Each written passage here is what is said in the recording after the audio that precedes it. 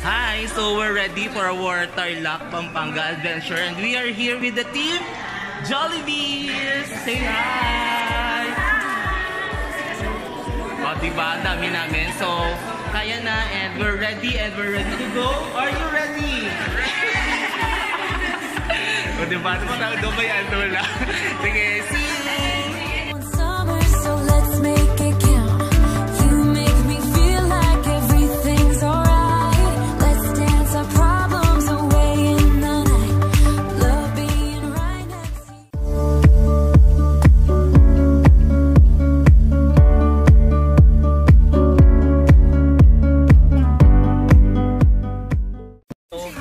good morning, and welcome to Goshen Resort. Alright, so as what I have said, this is the, on the right side is the right side of Goshen, and on the left side is the left side of Goshen. Yes! Very so, informative. It's all about picture taking lang naman. so meron tayong ano dito, parang gladiator, nakakita na kami ng Nakakita na kami. Hindi na na-stress yun. Kuya.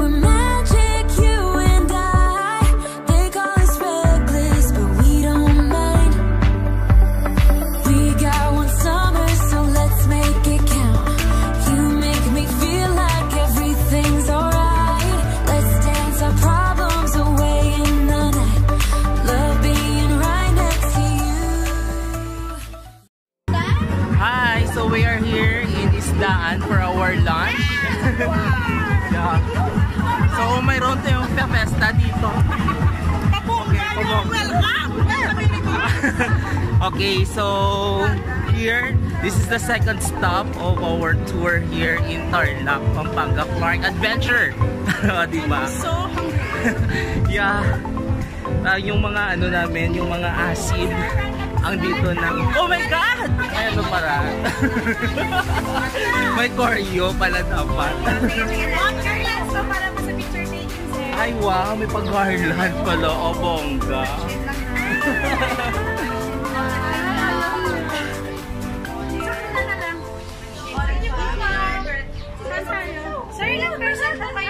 17.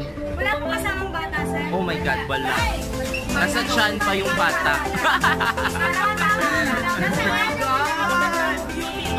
yeah. Saan ang dapat? Okay, so may pag-garland kami dito, ah, 'di ba? Parang ganon. So ang ganda ng lugar.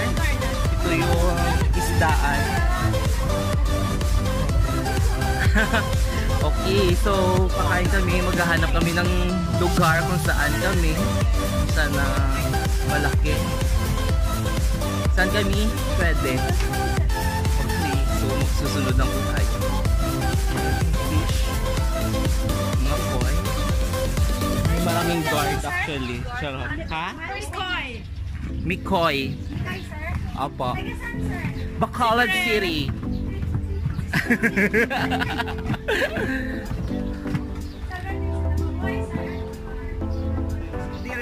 Saan kami?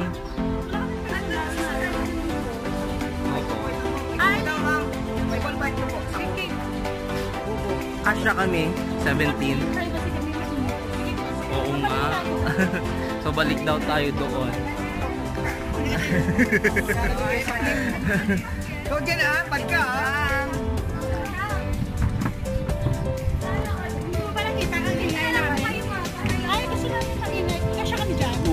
6'8".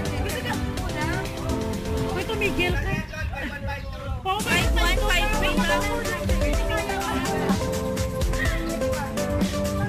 Saan yan?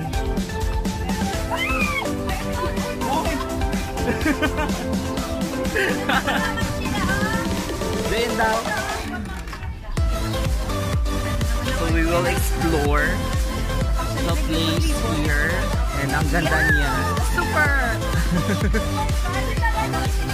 Okay. So tignan lang namin if kaya ng bulsa namin ito. Gani. Venue pa lang sa mga statue pa lang. Gani. Okay. Makapili kami ng lugar, no? Grabe. Ewan na lang kung may ano kami. may pambayad. okay, so we're here. Ito na yung lugar namin. Ah, di ba? Alright, so see you later. Alright, so we're going to eat na and our rice is this one. O, di ba? Ito yung rice. Rice baka mo. Ito yun, oh. Okay.